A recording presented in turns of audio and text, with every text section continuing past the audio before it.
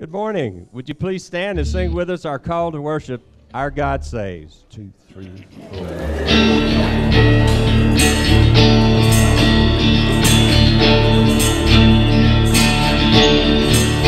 In the name of the Father, in the name of the Son, in the name of the Spirit, Lord, we come gathered together, lift up your name, call on our Savior, fall on your grace. Hear the joyful sound of our offering as your saints bow down, as your people sing. We will rise with you, lifted on your wings, and the world will see that our God saves. Our God saves.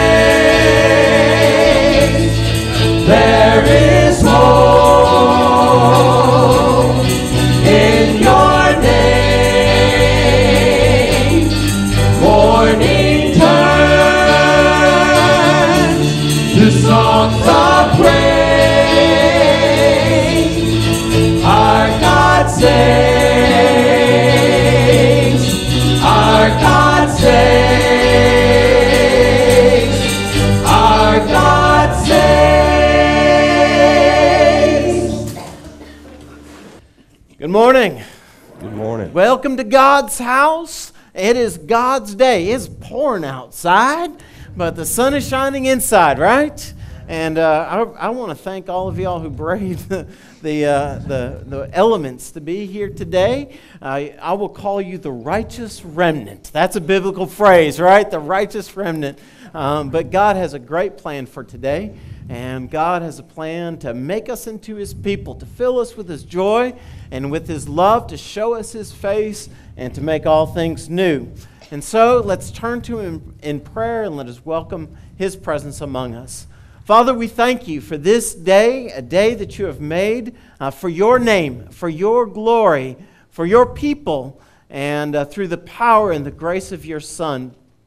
And we thank you, Father, that we are not alone, that you have uh, gathered us as a people who are your own, and that you have promised that you would never leave us or forsake us. And so teach us, fill us, make us new people, and through what you will do in us today, may the world be changed. In Jesus' name we pray. Amen. Let's take a moment to greet those around us as we pass the peace of Christ.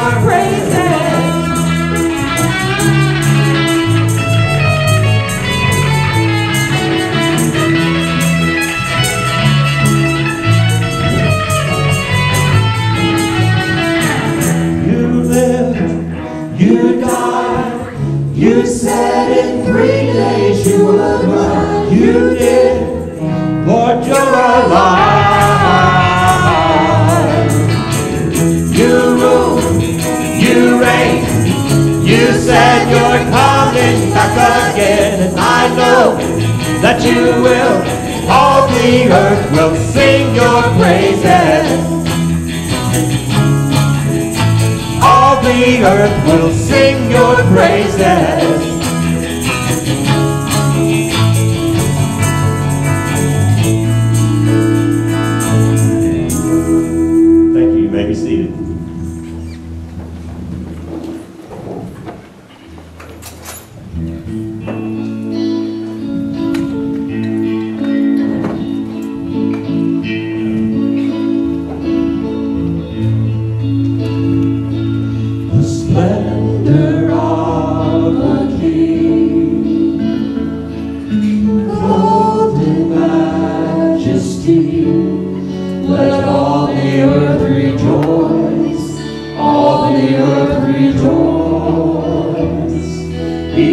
Wraps himself in light, and darkness tries to hide and trembles at his voice, trembles at his voice. How great is our God! Sing with me, how great is our God! And all will see how great, how great is our God. Age to age he stands, and time is in his hands, beginning at the end, beginning at the end. The Godhead three in one. Father, Spirit, Son, the Lion and the Lamb, Lion and the Lamb. How great is our God! Sing with me, how great is our God! All will see how great, how great is our God.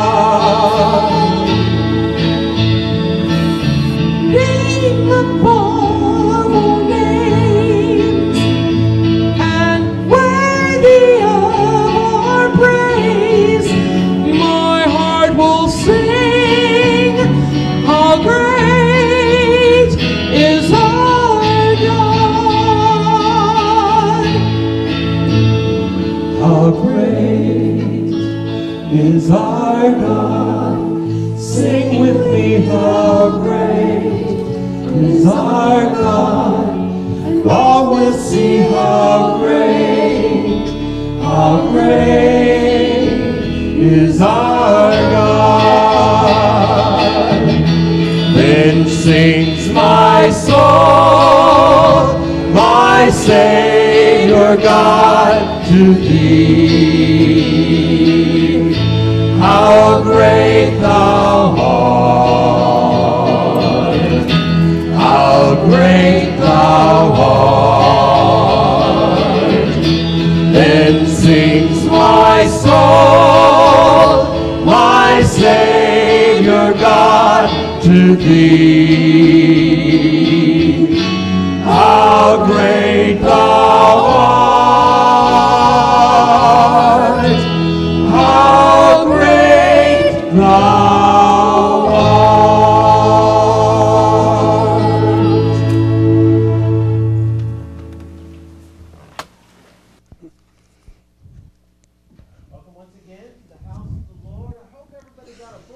when you came in. Does everybody have a bulletin? Uh, take a moment, if you will, to uh, fill out uh, the little form that's a, a fold over inside your bulletin. Let us know uh, all the most updated information on you so we can be in communication with one another. I also hope that uh, you'll take a moment to let us know uh, that you're going to be with us on Wednesday uh, for Wednesday Night Live. We'll be having baked chicken this Wednesday night and a great time of fellowship together. On Wednesday night, I have a brief time of devotion and Bible study, and we're going to start a new series this Wednesday. And we're going to be walking through the book of First Corinthians uh, week after week. I love the book of First Corinthians. It's a very practical and it's about congregational life. It's about how to live as the family of God uh, with our brothers and sisters and to represent uh, the life of God, uh, God's community uh, to the world.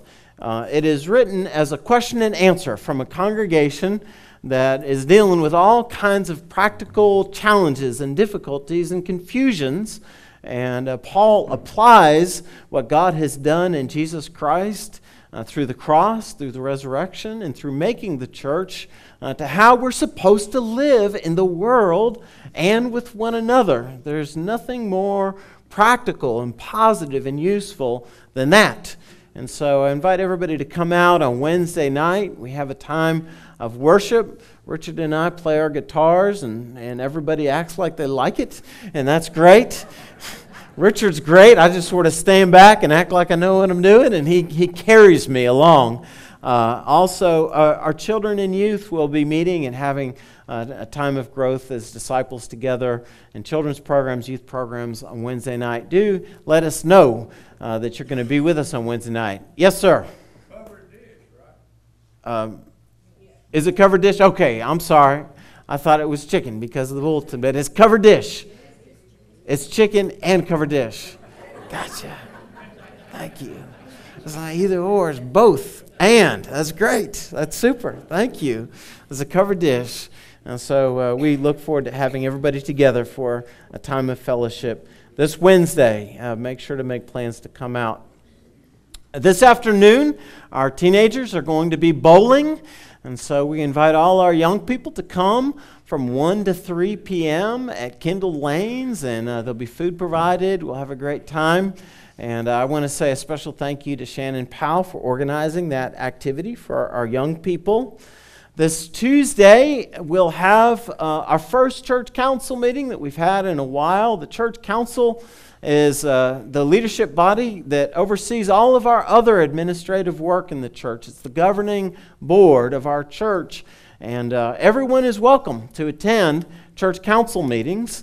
And uh, we'll be talking about uh, our building project and how it's coming along and how the decisions are being made, uh, about, ho- uh, about how uh, uh, that renovation is, is, is being completed. Well, so folks have been asking, when are we going to be in? Are we going to be done soon? And uh, the best answer we have is we are hopeful and very confident, optimistic that we'll be in there by Easter. Uh, but anyway, we'll be talking in more detail uh, about that and, and, and also about the ministries of the church and, and uh, having the opportunity to dra- dream and plan and have question and answer uh, together as a church as a whole uh, at Church Council, 6 o'clock, Tuesday night, January 24th. Also, uh, our men have a group uh, that meets for breakfast Wednesday mornings. They, they invite others. So it's not just uh, it's not just the men; they invite the ladies too, and we have great conversations and prayer. They've asked me to lead a new a new series, and they asked me a lot of questions about what do Methodists think about this and that, and. Uh, and I always find things that are about what a Methodist believe kind of boring because people want to know what Jesus believes, right?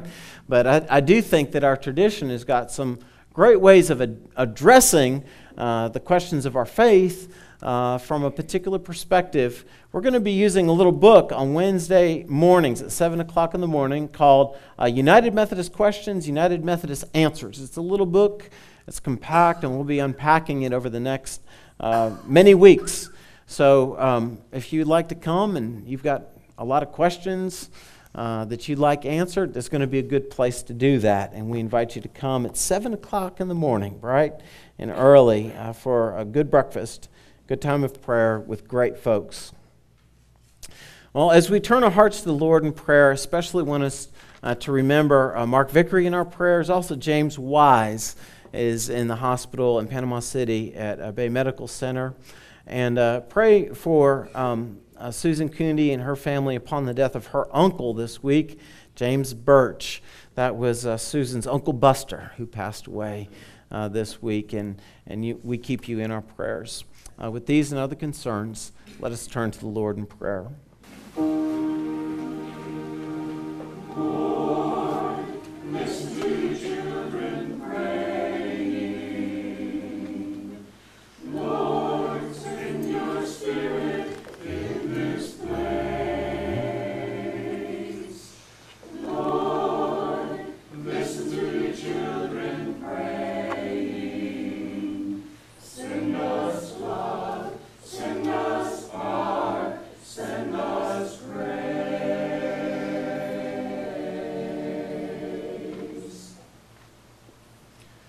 Holy God, we give you thanks for the gift of your Son, your Son who has given us new life, who has offered us a new way of life.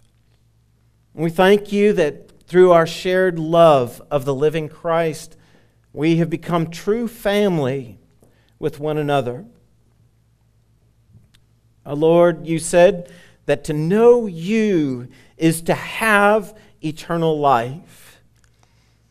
And so, Father, teach us to know you today so that we can live in this moment in the fullness of that life you offer us.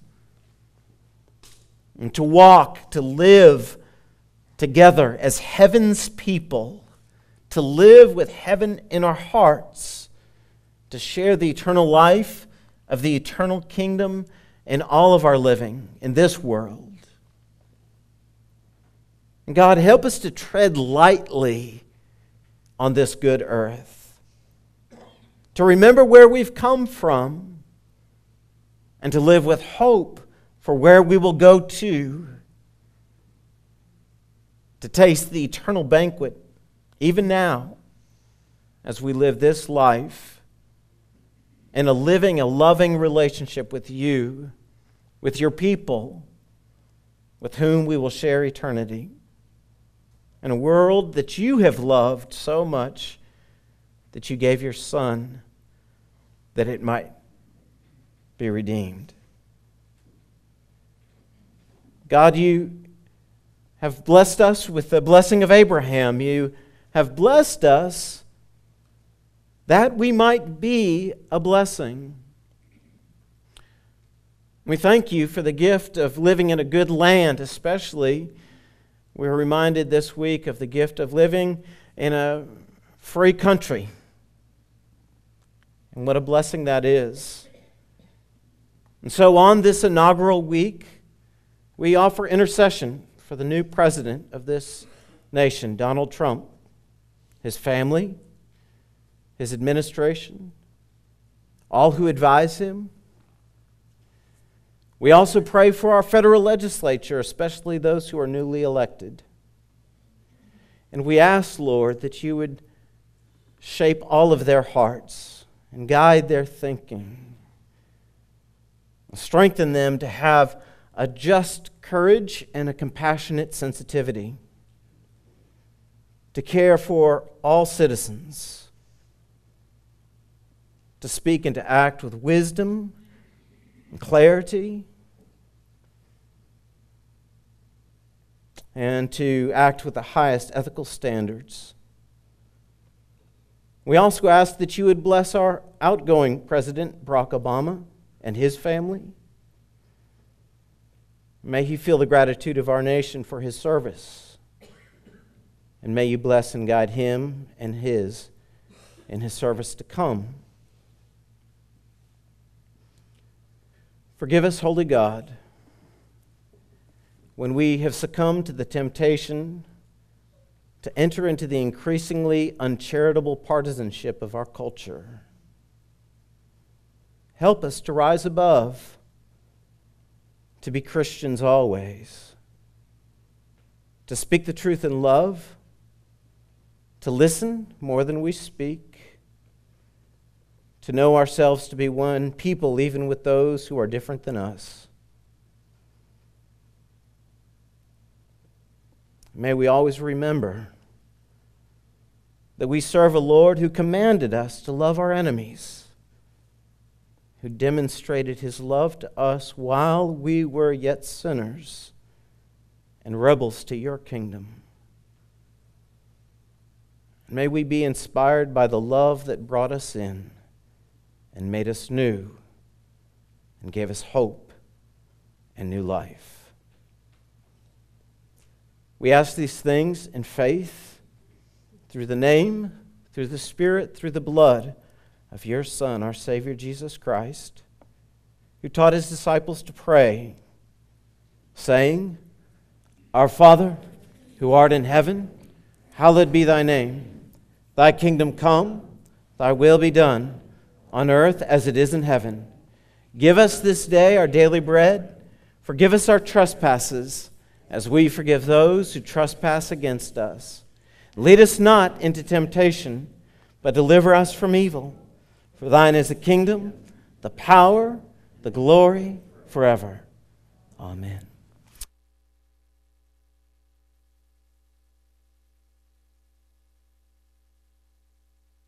Guys, come on down. Come on. All right.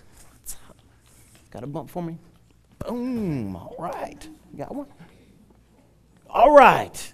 Come on. Anybody else? Who else we got? Anybody? Anybody? All right. Well, listen. I'm not Miss Janie. Have you noticed? Can you tell? You know what I am? I'm the substitute teacher. You ever have a substitute? Man, I used to victimize the substitute when I was your age, I got to tell you. Um, but um, Miss Janie called me last night and she said, I'm not going to be able to come. You know why? Why? Because she wasn't feeling well. She said, I'm sick. So I thought that what we needed to do, since Miss Janie can't be here, is to, what do y'all think we should do? What do you think? I think that we should send her cards. Send her cards. It's a great idea. That's super. Anything else we can do? We're going to pray for her. Oh, that's good. That's great. I, you know what? I, and, and that is that's exactly what I want to talk about today. I always think that the best thing that you can do for somebody is to pray for them. You know why? Because when we pray for people, then God um, helps them, and God knows what people need more than anybody else. And He loves the people we pray for better than anybody else. Now, let me ask you a question Who are the people that we should pray for? Anybody? Who do you pray for? Um, people who who are sick in the hospital. People who are sick in the hospital. We pray for them every Sunday, don't we? That's right. Who else do we pray for? That way some people can become Christians. Oh man, that's fantastic. Did everybody hear what she said? She said, We pray that people will become Christians. Ooh, that's a good answer. Thank you for that answer. That's beautiful. Who else do we pray for? Um, um, people, for people to, to, to, um, people that are sick and, and, and, and they are, and they are, and, and that, and then they will be better soon. That's right. People who are sick, that they'll be better soon. Anybody else? Now, the Bible says that we should pray for other Christians, everybody in the church. The Bible specifically teaches us that. Do you ever pray for your church? Yeah. Um, I'll tell you somebody else that the Bible tells us to pray for. It says that you should pray for your preacher. Did you know that? It does. And, and listen, um, the, the, the thing that I want you to do for me more than anything else, I would be so grateful if you would pray for me. When you pray, will you pray for me? Do you promise you'll do that? I would be so grateful because I really need it. Because God, God helps me. He helps me when people pray for me. I believe that. The Bible also teaches us to pray for people who are in authority over us, and especially for anybody who leads us in government. That's a hard job, isn't it? And so we should pray for our leaders. And so, uh, there's a, you know who else we should pray for? Everybody. Everybody. But those are some folks we can pray for specifically. So let's, let's pray for Miss Janie and pray, um, pray that God will help her as she is getting better. All right? Can we pray? Father, we thank you for Miss Janie who um, loves us so much and works so hard to tell us about your love for us and uh, has so much joy in the way she teaches us about Jesus and the gospel every week. Help her to get better and to feel, feel better and to know how much we love her and are grateful for her. And we pray that you would be with anyone that we know, anyone anywhere who's sick today, who's sad today, who's tired today. And especially, uh, as Katie said, we pray for anyone who doesn't know you that they would experience your love and come to Christ and get a new heart. In Jesus' name we pray. Amen. Amen.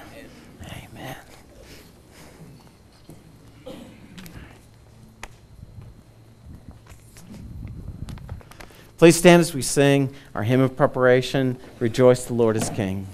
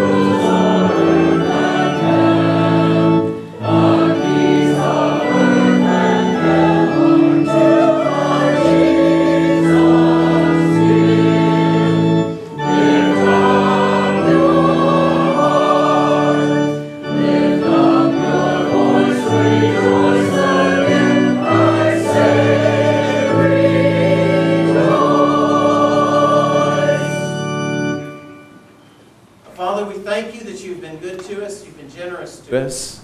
And so, Father, we give the things that you have given us, things of this earth, that uh, they might be invested and they might be offered into your hands uh, for the things that cannot fail, for a kingdom that will never be shaken. In Christ's name we pray. Amen.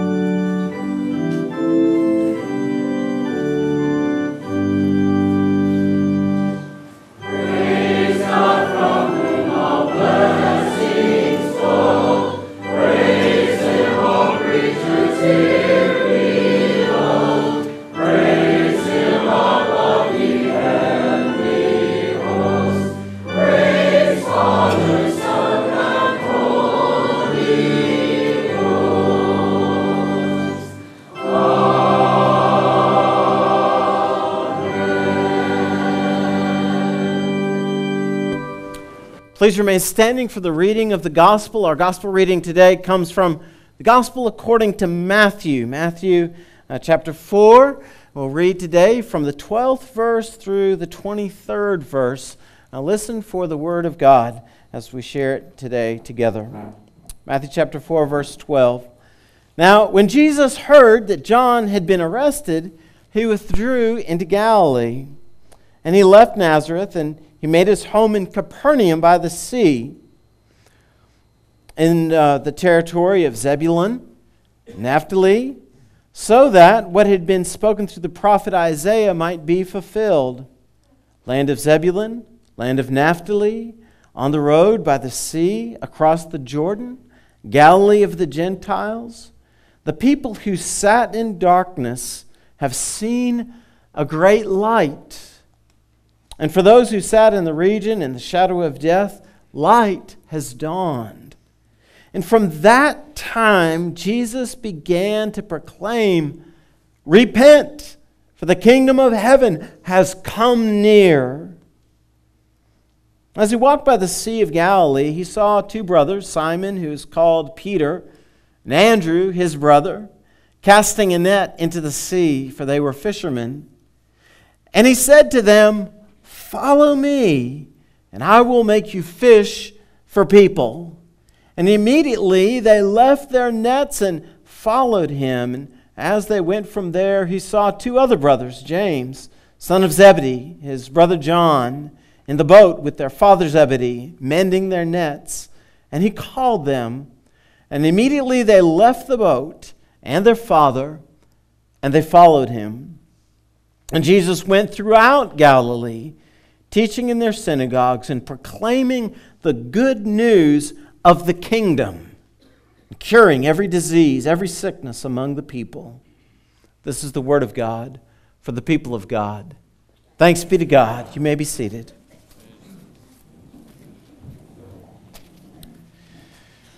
As we talked about some last week, we are in a season of the church year we call Epiphany. Epiphany means revelation. It is a time that we celebrate that God has revealed himself. God, who is impossible for us to see, uh, made himself visible to the world and made his heart open and apparent, showed his glory by becoming one of us, uh, by becoming a human being, Jesus Christ. And uh, that when he did that, uh, Jesus, uh, for a long time, was in the, in the world. The light was shining and nobody knew it. Uh, but as he came to the point where he began his ministry, then the glory of God was, was uh, rolled out for the community.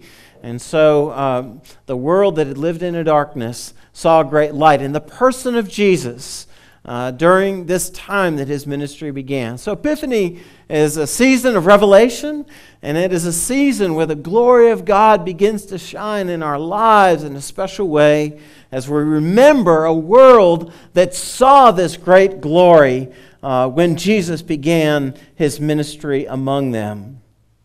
So, it's an exciting moment, isn't it? Uh, we read a little bit about it last week as Jesus began calling his disciples, and uh, this week, a little bit more as he begins to preach and call other disciples and he begins to heal. And it says that he, he went to a particular region around his hometown, around the Sea of Galilee. And there were all these little fishing villages and a few cities. And he would go from synagogue to synagogue. And the message uh, that he was preaching began to be believed by the people. And uh, folks began to have a buzz and talk about what he was doing and the healings that were happening. And as uh, we would say today, he was beginning to trend on Twitter, right? Um, uh, the word was getting out, a movement began. One person, then another person, then another. Uh, it's kind of like, how many of you ever see the movie Braveheart? In Braveheart, there's that one time when you know they've all been under the thumb of the English, and they they uh, they they start to get the word out that they're going to begin a resistance, and they're running through the hills in their kilts, you know, and there's this sort of sense like, oh, something's happening. And there's that feeling in the hills of the Galilee that, that God is doing something, something starting.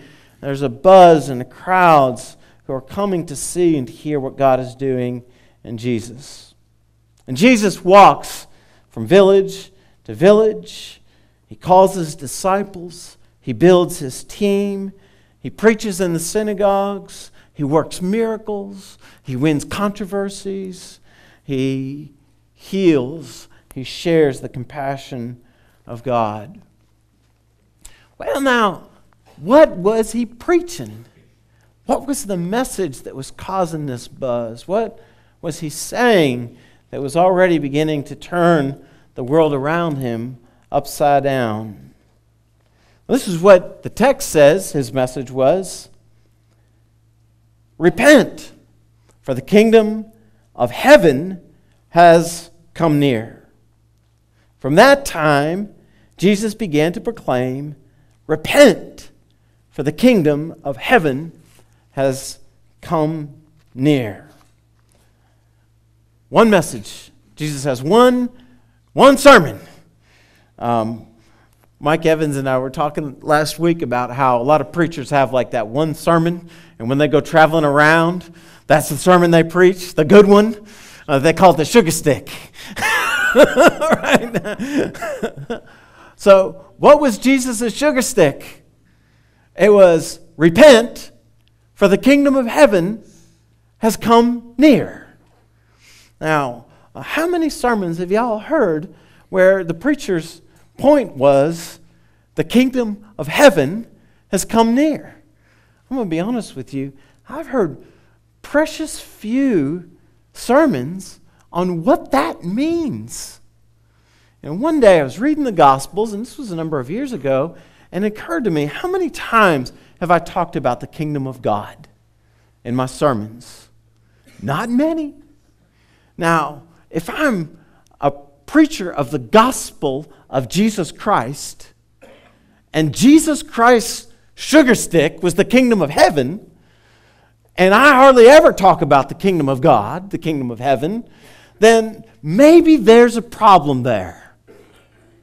Have you ever thought about that? You know? Um, so I began to ask myself, what does this mean? And uh, how can, how can I, I soak in the ideas that the Lord shared about His kingdom so that I'm using His vocabulary if I'm going to be a Christian preacher? Does that make sense? Am I the only person that's ever been a little confused by that? I mean, uh, when I say the, the kingdom of heaven is drawn near, I mean, a lot of us sort of scratch our heads. And what does that mean? What was he getting at? What was he telling the people? What is the kingdom of heaven? What is the uh, kingdom of God? And what does it mean to live a different life based on the message that was at the heart of what Jesus was telling people when their lives were being transformed by the beginning of his ministry? Now, one thing I've discovered is that the kingdom of God and the kingdom of heaven are interchangeable terms. It's talking about God's rule, God's reign. Uh, the kingdom of heaven, the kingdom of God, is what it looks like when uh, God's world has invaded our world to such a point that uh, uh His running things has become actualized. In one sense, God is in charge and has always been in charge of everything, right? Is that true? God's the Lord of heaven and earth, always has been. But is, is everything that happens in the world uh, perfectly according to God's perfect will? Does everything that happens in the world happen the way He taught us that it should? The answer is no. you know, is this all there is? The answer is no, absolutely not. We've got a hope before us that there will be a day where God will make all things right and that the world will run the way God intended it to. All things will be restored, all things will be made well. And when Jesus says, the kingdom of heaven has drawn near, Jesus is saying that there is a hope out there of a day when God will make all things right, but He is getting started right now. Right now. We live in hope, but we also live in the reality of God's kingdom right now. Heaven is not just out there someplace for us, heaven is now, is what Jesus was saying. A change has come. A change has come. The glory and the authority of God are functioning on the earth, Jesus says, as they do in heaven. What do we say in the Lord's Prayer? Uh, Thy kingdom come, we say. God, bring your kingdom down, and thy will be done that's what the kingdom looks like God's will being done perfectly. Um, on earth as it is in heaven. And Jesus says, Now that I've shown up on the scene, he says, the kingdom has drawn near. The distance is closed between earth and heaven. One of the great folks who helped me to understand um, what the kingdom of God is about is a theologian named N.T. Wright. And he says one, one way that we can think about heaven rather than just a place up in the clouds or whatever uh, is to say heaven is God's place. Heaven's God's place, and earth is our place. Heaven is where God is, earth is where we are. And there's this sort of this understanding of a separation of the sacred and the profane. Our place, God's place. We all kind of think a little bit like that, don't we? In Old Testament times, God created a place called the temple. And he said, I will dwell in the earth in this place. This will be my house. I'll move in, have a tent, set up a place that's my place in the midst of your place. And uh, God is everywhere. But in some way, he said, This is the place you will know that my place and your place have collapsed on each other. What did Jesus say? He said about the temple, I'm going to tear it down and in three days rebuild it up. And then it said he wasn't talking about the building the temple, he was talking about his own body. If Jesus is God in the flesh, then what he was doing is God was invading our place. Wherever Jesus is, heaven and earth have crashed in on each other. God's kingdom, his perfect rule, his heaven has become a part of our living in the here and now. How many of y'all are looking forward to going to heaven? I am. Oh, I'm not in a hurry or anything, but right? I, I have that hope. I have that hope. But I, I also am not waiting till I die to experience heaven. Because Jesus told me that I don't have to. That was his message. Uh, the kingdom of heaven has drawn near. Heaven is close. Oh. So we're called to imagination.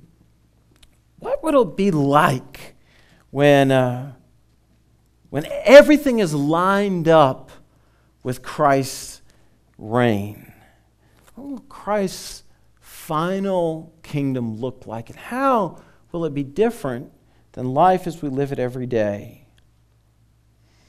You know, I, I imagine a world where there's no hate, there's uh, no divisions, um, a world where there's no want, uh, a world that's full of people with open hearts who aren't afraid of each other or to share what's in their hearts, a world where we live with a clear conscience.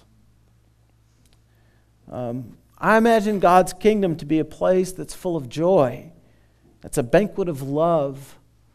Um, God's kingdom is a place where I have lost my job security. There's no reason for a person who does my job. You know why? Because God's presence is so real that there's no need for anyone to teach them. You don't need a preacher because your conversation is so clear, and Christ is your teacher. Um, imagine a kingdom where there's nothing to fight over, nothing to scrap over, uh, where, as Isaiah says, nation will not rise up against nation, neither will they learn war anymore. Where no one's getting ripped off, no one's taken advantage of, no one's pushed around, no one's overlooked.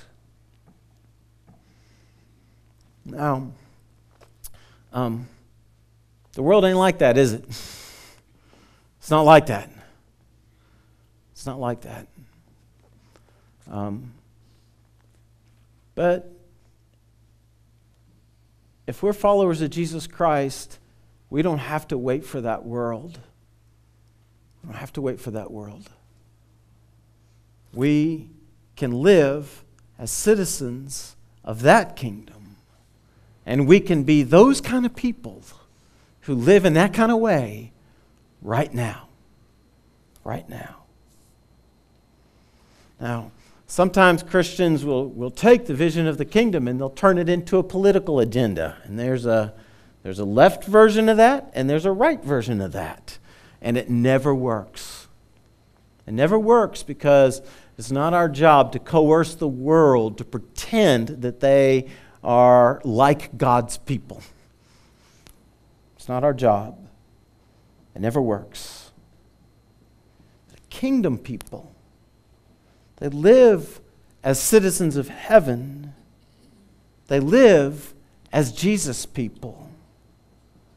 And uh, that, that makes us, if we believe this book, if we live this book, if we really follow Jesus in our life together, it makes us a pioneer community in a broken world. It makes us a colony of heaven, an outpost of God's glory in a broken world. And it seeps out, it inspires the world. It can't be held to ourselves. like, think about this. You know, a couple hundred years ago, there were a bunch of Chinese immigrants that came to California, and they had Little China out in San Francisco, right? They, they came to help build the, tr- the, the railroad across the country. Yeah. How long did it take before every American knew what chop suey was, right? they, were, they were a colony of a different place, and yet something of their life and their culture seeped out and became a gift to all Americans. Man, I, I eat my Chinese food with chopsticks. I love Chinese food. It's everywhere, right? It's great. When I moved to Marianna, I said, okay, okay, Google, where's the closest Chinese restaurant? my, my grandmother, who passed away about a week and a half ago, uh, was the daughter of French immigrants. She was born in Paterson, New Jersey, and raised in uh, Englewood, New Jersey. Her, her parents came from France, from Lyon. My great grandfather, her father, was a textile chemist. In Lyon, they have a long tradition of making beautiful uh, silk. And uh, he came to work for the DuPont family making silk and ended up having his own silk factory. And so um, they kept a house in France, and every year they would go back and forth. My grandmother spent her summers there. And in our family, we stayed in touch with our family in France, and somebody from every generation, a few people from each generation, will go and stay with the family on the other side. Our French family will stay with us, somebody from us will go stay with them. I'll never forget what it was like to see my grandmother speak French. She was completely bilingual, completely bilingual. And uh, when, and she was a great patriot. She loved this country, and she served this country in all kinds of really beautiful ways. She loved America and the hope of America and the gift of America to the world, but she was also French, okay? And when she spoke French, you could see that there was something of a different place that came out. Her manner was affected, it was just different. Anybody who ever saw it would know what I was talking about. You know, um, was thinking about that this week as I was reading about the kingdom of God, and I wonder if when people see us, they see something of a different place, a different city, a different world. Something that they can't quite touch, something that they can't quite understand, but something that is unmistakable. That we love where we're from, but we remember where we've come from, and we have hope for where we will go, and it changes how we live and who we are in this place where we've been sent.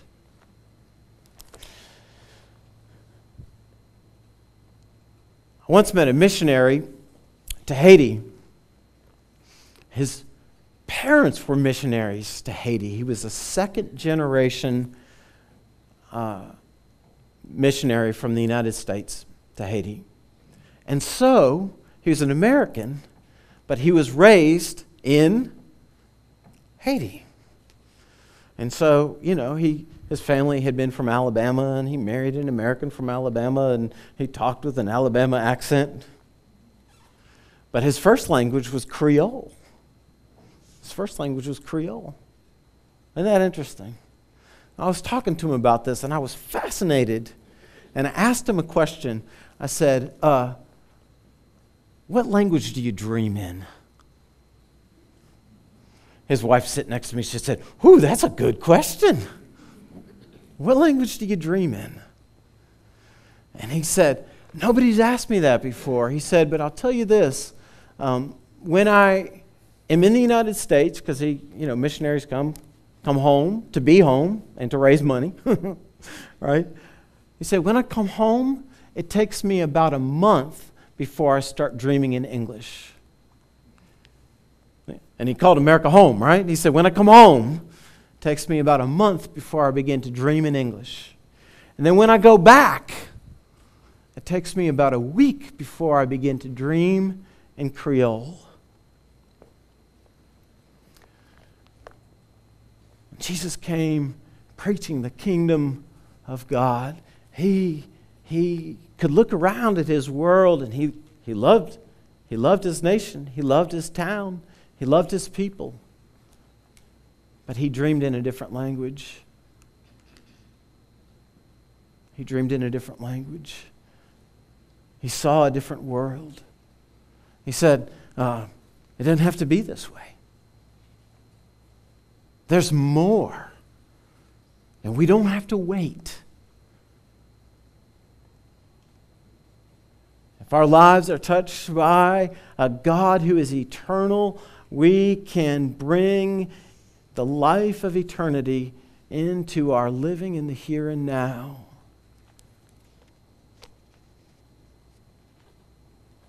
What language do you dream in? Do you dream in the language of earth, a language that's uh, focused on stuff and what we buy and whether we win or lose, what we accomplish and who's right and who's wrong? The language of earth is a language of me. What language do you dream in? The language of heaven is a language of love. It's a language of covenant. It's a language of community. It's a language of justice and goodness and worship. It's a language of eternity. It's a language of life abundant. It's a language of glory. It is the language of God. What language do you dream in? Jesus came from another land. He infected this world with heaven. They never recovered. For the next four weeks, we're going to be talking about the Sermon on the Mount. In the Sermon on the Mount, I believe that Jesus is laying out what it looks like to live as a kingdom people, to live with a heart that is stayed on an everlasting kingdom, even as we live in a world that needs another way. But I encourage you to listen to the Lord's words and not hear them as helpful advice, but hear them as a dream for a different world, a different way. To learn to dream in a different language. In the name of the Father, the Son, the Holy Spirit. Amen. Please stand.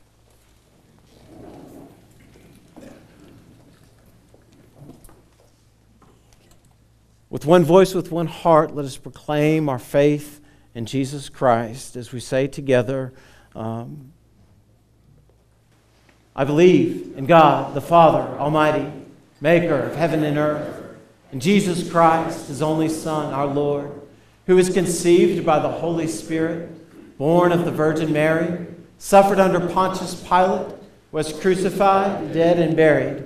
The third day he rose from the dead. He ascended into heaven and sitteth at the right hand of God, the Father Almighty. From thence he shall come to judge the quick and the dead. I believe in the Holy Spirit, the holy Catholic Church, the communion of saints, the forgiveness of sins, the resurrection of the body, and the life everlasting. Amen. Amen. Our closing hymn is Where He Leads Me. The altar is open, the heart of the Lord is open. Let's offer ourselves to the Lord of love who has offered himself to us. If you would like to spend some time in prayer, we invite you to come and pray as long as you wish. Let us sing and proclaim our faith together.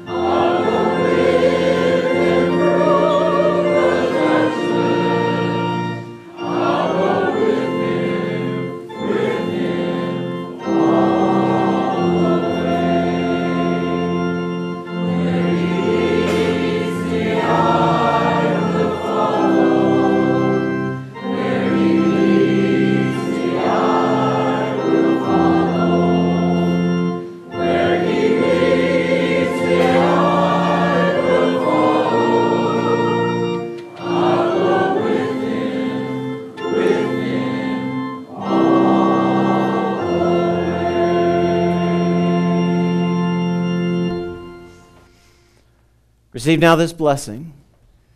May the Lord bless you and keep you. May he make his face to shine upon you. May he guard you and cover you. May he give you his peace. May the peace of God go with you.